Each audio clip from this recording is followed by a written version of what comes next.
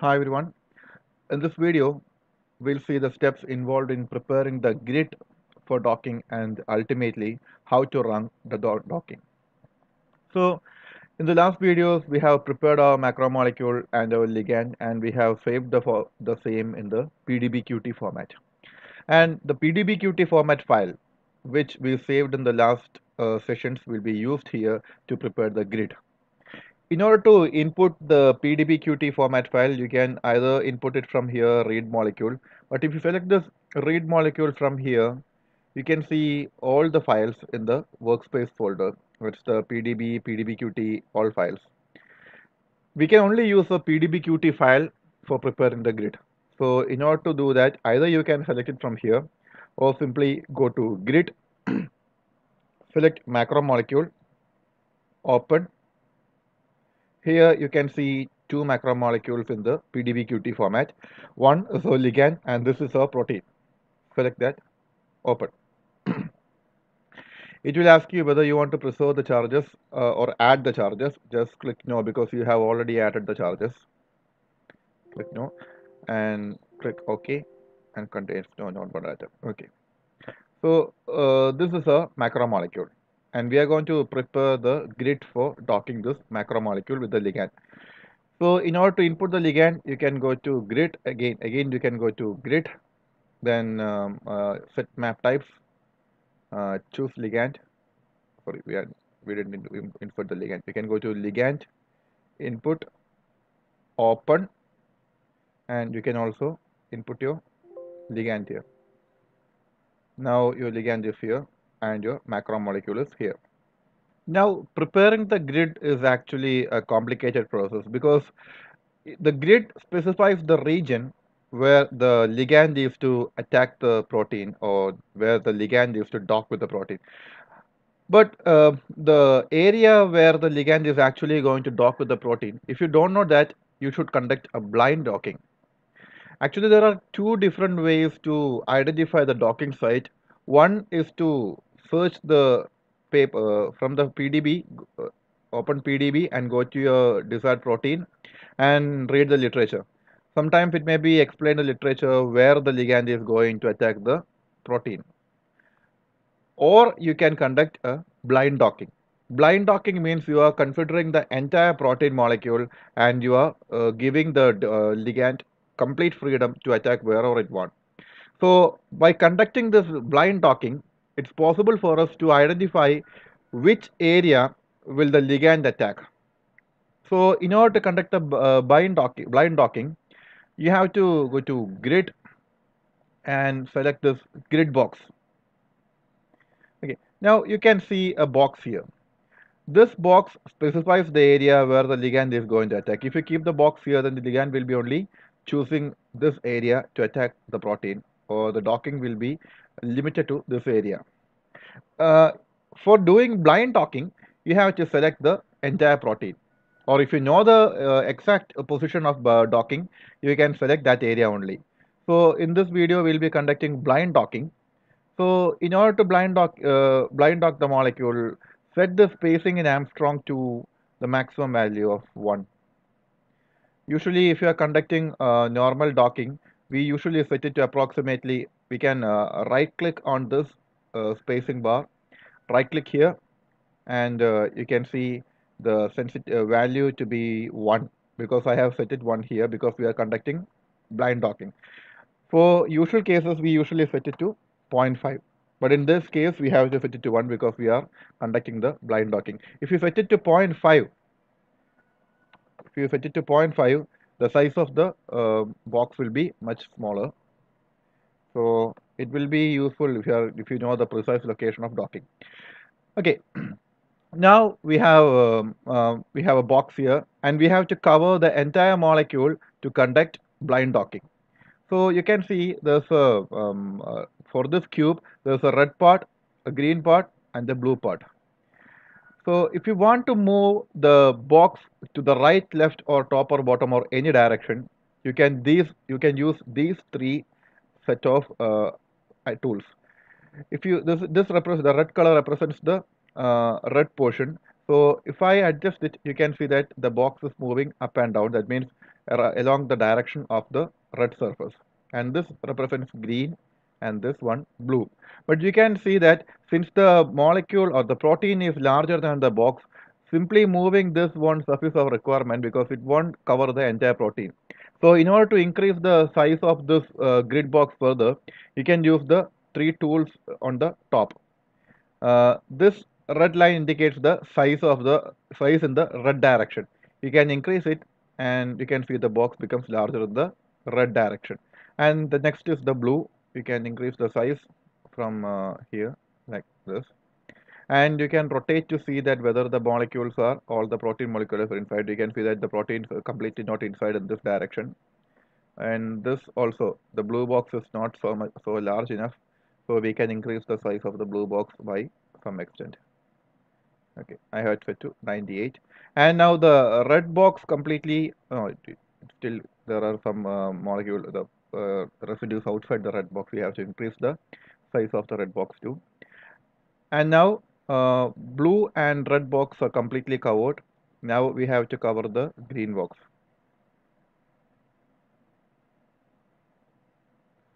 Okay. Now everything is covered completely. The entire molecule is inside the grid box. So this is how you do the blind docking. How you prepare the grid for the blind docking. Uh, now we have to go to file close saving current close saving current. Now again go to grid, grid box. Now you can see the previously fixed grid here. Go to file, output grid dimension file. So this is actually a .txt file. You can save it as uh, grid.txt. Remember to give the file name, file extension .txt here or else sometimes it won't read. So always give file extensions. Give save. And close it. Now the grid is prepared. Next step is to save the output. Go to grid output save gpf so here you can give any file name. I'm just giving one dot gpf that means my file name is one. One dot gpf I have mentioned the file extension here. Save. So the grid box is prepared. Now it's time to run the auto grid. So then go to run run auto grid. And here this is a very important topic because you have to set the program path name and parameter file name here. The file name is already mentioned here with the proper extensions. Sometimes it will be only shown that file name is 1.gpf then it, the autodock will not be able to identify the file because you have to specify the path here. And in the name in the case of uh, program path name it simply says autogrid. In this case also we have to specify autogrid 4 in which folder of your drive.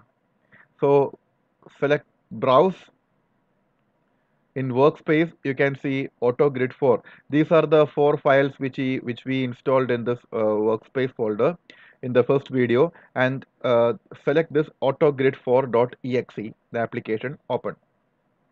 Now it's okay. And also even if you can see your uh, file name with the proper extensions just re-verify it by uh, clicking the browse button here 1.gpf open and the output log file. It's a GLG format file. Please note that the parameter input file is a .gpf format file and the output file is .glg format file and you can click launch. You can see a meter running here. It will be gone when the once the grid parameter setting is complete.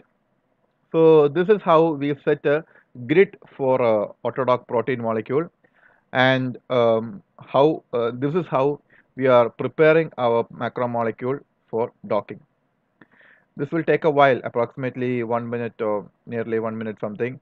Uh, in this case, since we are doing this blind docking, it will take some more time because the grid box is much larger. Or else if you are uh, doing a specific docking in any given uh, area, like uh, sometimes if you know the given residue, you can do it uh, so that the grid box will be prepared much faster because you are only scanning a small region.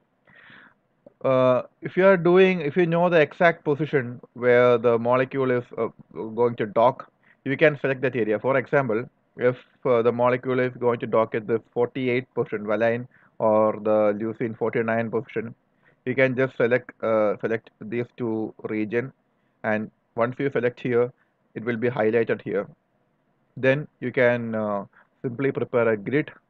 You can set a grid box and you can decrease these dimensions because you know the exact area. So you can put it to 0.5 and uh, you can uh, decrease the size because you are only now specifically docking so that you only need the given area. This was the given area. So you can adjust it like this. You can uh, adjust it like this and uh, you can also you can still further decrease the size of your grid box because uh, you only have two residues to select. That will be much easier. Okay so i'm not going to explain this here. I just show you how to selectively dock or selectively prepare a grid document. Now we can see that uh, uh, the other window has gone. That means our grid preparation is complete in order to verify and uh, completely identify that the grid preparation is complete you can just go to your workspace and now we can see there are a lot more files here. This dot map files are here. There are a lot of dot map files. And these dot map files are here because the grid preparation is completed. Okay. Now you can see a GLG file here. Double click on the GLG file. Open it and go to the last line. You can see uh, computational software Autodock workspace Autodock successful completion and the CPU time was 1 minute and uh, nearly 9 seconds. This was the time required for completion of a AutoGrid preparation. And also here we can see there are some maps prepared. There are uh, many atoms in our molecule. Then we can see there are some maps prepared here and all these maps are uh, required for our Autodock to work. Okay, so in your workspace, if you can see all these kinds of dot map files, then it is assured that uh, the grid box is prepared. Now the next step is docking. After preparing the grid and running the GPF file and when we obtain the GLG file, it is time for us to do a docking. So in order to do the docking, go to docking, select macromolecule, and here you have two options set rigid file or uh, set flexible residue file name it depends upon your protein and your molecule that if your molecule is uh, a rigid molecule then you can go with set rigid file name and if it's a flexible you can uh, if it's a flexible residue you can go with the second option usually if you are setting a rigid file name it will be much easier because there will be much lesser conformations and if there are uh, no flexible residues. But if your protein contains flexible residues, then go with the second option. So here I am going to set a rigid file name. Then select the file, click OK. Now the protein is ready. And now going to ligand. We have our ligand opened here. So select from docking, select ligand, choose choose the ligand and select the ligand. And these are the ligand parameters. You don't want to edit anything there. Click accept. Again go to docking search parameters and select the first option genetic algorithm. Don't select the other option select genetic algorithm by default the number of GRNs is 10 the population size is 150 and the maximum number of evaluations is medium uh, if you're aiming for a good publication, then it will be better for you to increase the number of GRNs to approximately 30 or 40. And also the maximum number of evaluations is medium here. You can go for long. But uh, please note that if you increase the number of GRNs and the maximum number of evaluations, it will take much more time to compute the answer. So I'll just keep it uh, number of evaluations as medium and the number of GRNs as 10. Then do you don't want to change any of the remaining parameters then click accept. Now again go to docking. Docking parameters. You don't want to edit anything here just click accept then docking. Uh, output. In output, you have to select the first option, uh, Lamarckian output. Please note that you have already selected genetic algorithm in search parameters and do not select it here in output. You have to select Lamarckian genetic algorithm 4.2. Click and give a file name. I'm giving a file name 1.tpf. Save. Ask if you want to uh, replace it because there is already a file name named 1.tpf. So I'm just clicking yes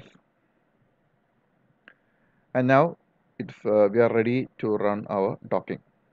Go to run select autodock and here browse to get the right autodock file. Uh, parameter file name it's simply 1.dpf you want this complete file name here. So browse select 1.dpf and click launch.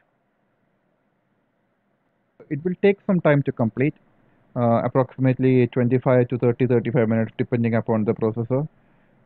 And once it is complete the dialog box will be out from the screen so we can get the result. Uh, we'll discuss it in the next video